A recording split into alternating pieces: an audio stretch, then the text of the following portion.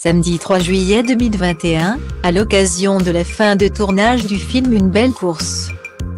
Danny Bonne et Laurence Arnay étaient réunis à l'occasion des 93 ans de Line Renault. Et face aux photographes, le duo est resté très discret, gardant ses distances. Danny Bonne, de son vrai nom Daniel Farid Amidou, et Laurence Arnay sont devenus inséparables.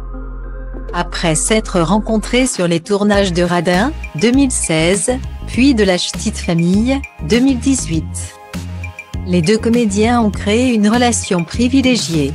Le 3 juillet 2021, ils ont tous deux été aperçus à l'anniversaire de Line Renault, qui fêtait ses 93 ans.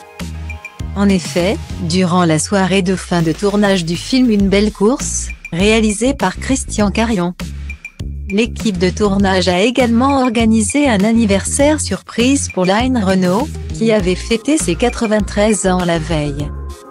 Note de la rédaction. Présent lors de cet événement, c'est donc tout naturellement que Danny Bonne et Laurence Arnay ont pris part aux festivités.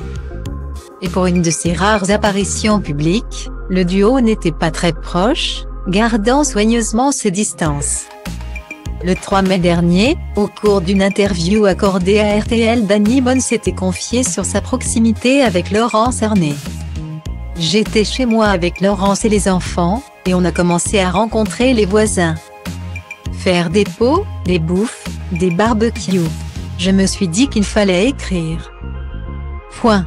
C'est fou, car personne ne se connaît et d'un seul coup, on se croise et on se dit bonjour.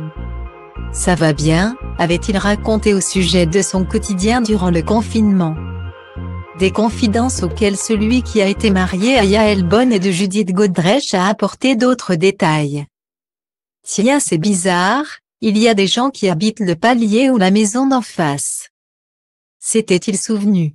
Des remarques anodines qui lui ont donné l'idée de réaliser un film. À savoir 8, rue de l'Humanité, qu'il a d'ailleurs coécrit avec la maman de Raphaël, 12 ans. Je me suis dit faisant un immeuble avec plusieurs classes sociales. Je voulais faire soit un immeuble, soit une pharmacie, soit un labo au rez-de-chaussée, un bistrot à côté. D'un seul coup. On a raconté ce qu'on a vécu et c'est la relation de ces gens qui va évoluer à cause de cette situation-là. Avait-il précisé. Un film prévu sur Netflix courant 2021.